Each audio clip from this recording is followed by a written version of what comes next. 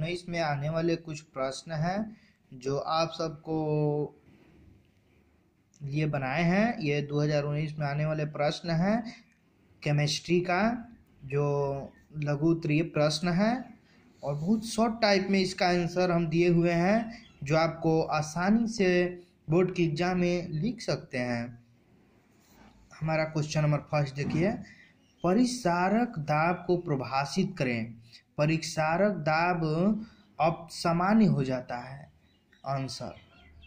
बाहर से आरोपित न्यूनतम दाब जो प्रसारण को रोक दे, परिसारण दाब कहलाता है। अणुओं के डिसोसिएशन या एसोसिएशन के कारण परिसारक दाब अब सामान्य हो जाता है। इसमें क्वेश्चन दिया हुआ है, परिसारक दाब अब सामान्य हो जाता है। तो इसका आंसर आप नीचे देख सकते हैं। फ़र्स्ट नंबर, अणुओं के डिसोसिएशन या एसोसिएशन के कारण परिसारक दाब अब सामान्य हो जाता है। क्वेश्चन नंबर टू देखें। अगला क्वेश्चन बिंदु दोष को परिभाषित करें। ठोस, वहीं पे दूसरा हमारा देखिए। ठोस हवाओं में फ्रिंकल दोष क्यों उत्पन्न हो जाता है? देखो बच्चों, यहाँ पर 2019 में जो क्वेश्चन दे रहा है, इसको एक क्वेश्चन में डबल क्वेश्चन करके जोड़ देगा, जिसके कारण हमने हर एक प्रश्न को दो क्वेश्चनों में जुड़ा हुआ दिया है, जो दो नंबर में आ सकता है और तीन मार्क्स में भी आ सकता है। हमारा क्वेश्चन नंबर टू देखें, बिंदु दोष को परिभाषित करें। पहले बिंदु दोष को आपको परिभाषित करना है, उसके बाद देखिए क्या लिखा हुआ है, ठोस हवाओं में फ्रेंकल दोष क्यों उत्पन्न हो जाता है? इसका आंसर देखिए, बहुत शॉर्ट टाइप में बनाया है। ठोस रवों में आयनों के लुप्त होने या मिसप्लेड होने के कारण उत्पन्न दोष को बिंदु दोष कहा जाता है। ठोस रवों में फ्रेंकल दोष आयनों के मिसप्लेड होने के कारण उत्पन्न हो जाता है। वही हमारा क्वेश्चन नंबर थ्री देखें, संक्षेप में लिखें। आपको दो गति का दिया हुआ है, इसको आपको संक्षेप में इसका आंसर देना है। ब्राउनियन गति, बहुत इंपॉर्टेंट क्वेश्चन है बच्चों, इसको ध्यान से आप याद करिएगा, लिखने का प्रयास करिएगा। दो नंबर में आ सकता है, बहुत इंपॉर्टेंट क्वेश्चन है। ब्राउनियन गति, देखिए कोलाइडी कण बिलियन में लगाकर या दृश्चिक गति में गमन करता है, उस गति को ब्राउनियन गति कहा जाता है। देखिए, अभी अभिक्रिया का अर्थकाल अभिक्रिया का अर्थकाल वह समय जिसमें किसी अभिक्रिया में प्रतिपाद अपने मूल मात्रा का आधा हो जाता है, अभिक्रिया का अर्धकाल कहा जाता है। वह समय जिसमें किसी अभिक्रिया में प्रतिपाद अपने मूल मात्रा का आधा हो जाता है अभिक्रिया का अर्धकाल कहा जाता है। चौथा क्वेश्चन देखिए, बहुत इंपॉर्टेंट क्वेश्चन है। संक्रमण तत्वों में परिवर्तन ऑक्सीजन अवस्था क्यों होती है? संक्रमण तत्वों में परिवर्तन ऑक्सीजन अवस्था क्यों होती है? इसका आंसर हम देखे हैं। संक्रमण तत्वों में परिवर्तनशील ऑक्सीकरण अवस्था, उनमें अपूर्ण डी ऑर्बिटलों के कारण होती है। वही मेरा क्वेश्चन नंबर सिक्स देखिए।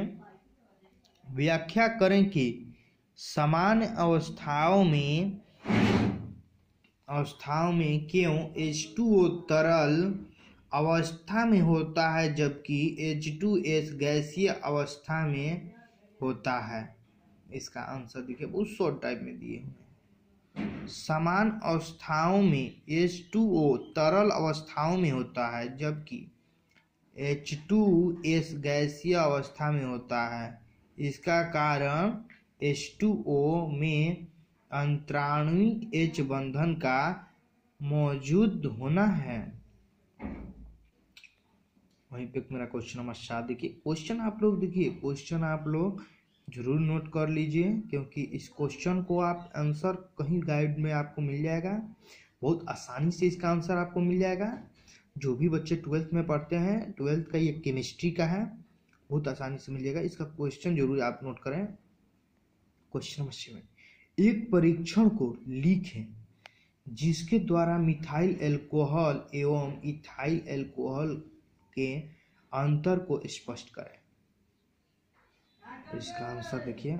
ऑयल ऑफ़ विंटर ग्रीन परीक्षण के द्वारा मिथाइल एल्कोहल एवं इथाइल एल्कोहल के बीच अंतर किया जा सकता है। मिथाइल एल्कोहल मिथाइल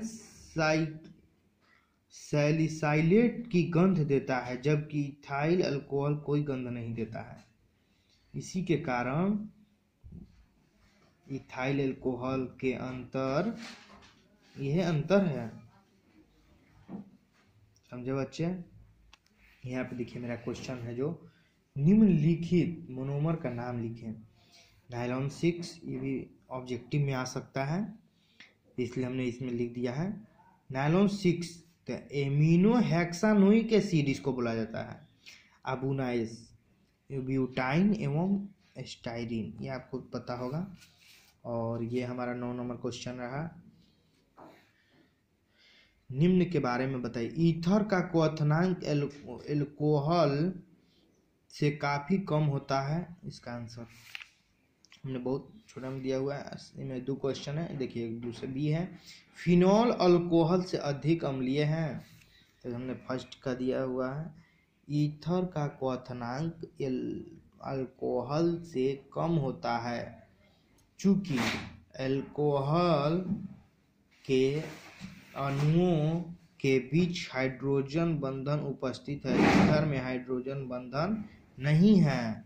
ईथर का क्वथनांक अल्कोहल से कम होता है। चूँकि अल्कोहल के अणुओं के बीच हाइड्रोजन बंधन उपस्थित है। ईथर में हाइड्रोजन बंधन नहीं होता है। ये क्वेश्चन है हमारा। इसका बी का आंसर फिनॉल अल्कोहल से अधिक अम्लीय है। इसका आंसर हम आपको बता रहे हैं। देखिए, इसका आंसर बच्चों, फिनॉल फिनॉल एक कमज़ोर अम्ल है। इसका अम्लीय गुण इसलिए है कि घोल में स्थायी फेनोक्साइड आयन देता है, यानी C six H five O six plus H two O इसको हम आसानी से बना सकते हैं और ये बहुत इजी है, आप थोड़ा सा ध्यान देते हो। C six H five O ऊपर माइनस का चिन्ह रहेगा और plus H three O plus ऋणात्मक ऋणात्मक आवेश पूरे बेंजीन रिंग पर बिखर जाता है। यही आवेश फेनोक्साइड आयन को स्थायित्व प्रदान करता है, इसलिए यह